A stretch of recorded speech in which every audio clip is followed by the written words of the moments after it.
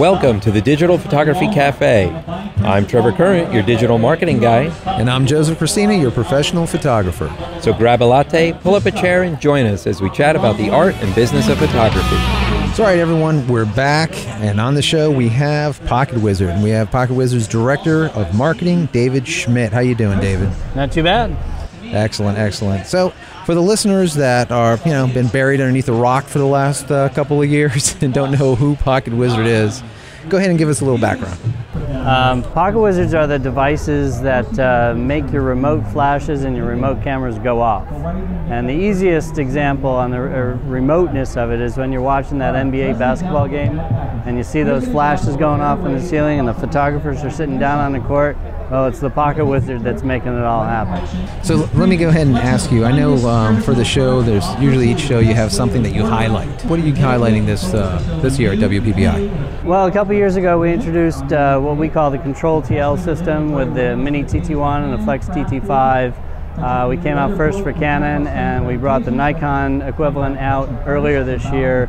And then back in September, uh, these are upgradable products where when we come up with new ideas, new features that we can run through firmware, we just put it on the internet, you download it, stuff it in your own Mini TT1, and you get something new. Uh, in September, um, we launched uh, uh, a new version of it, which added um, what we call hypersync automation, which is sounds a lot more complex than it is. It is actually pretty complex, but the automation part makes it easy.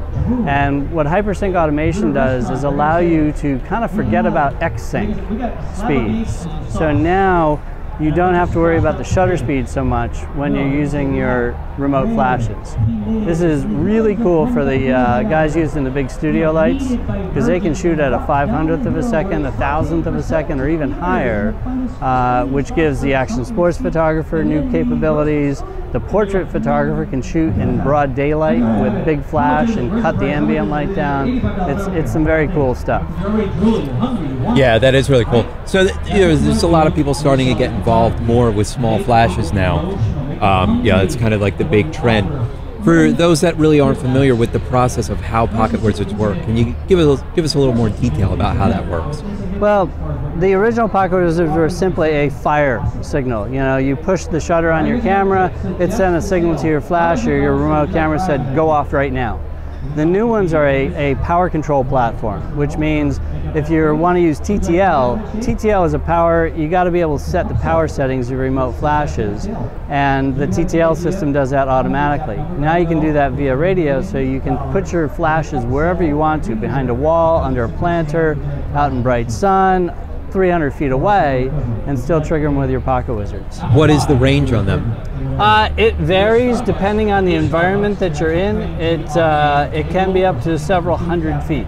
Wow, that's really so great. for most people, that's plenty of distance. Sure. know. Now you can control all of it then from the, From the transmitter right on your camera. You can put your remote speed lights out there and change the power settings of your remote flash without getting up and moving over to your flash. You can do it in TTL and you can do it in manual. So in TTL, you might want to say, hey, I need that flash a little bit more and that flash a little bit less and just dial them up, dial them down. With manual, you're setting the absolute power settings and again, it's all right from the uh, camera position.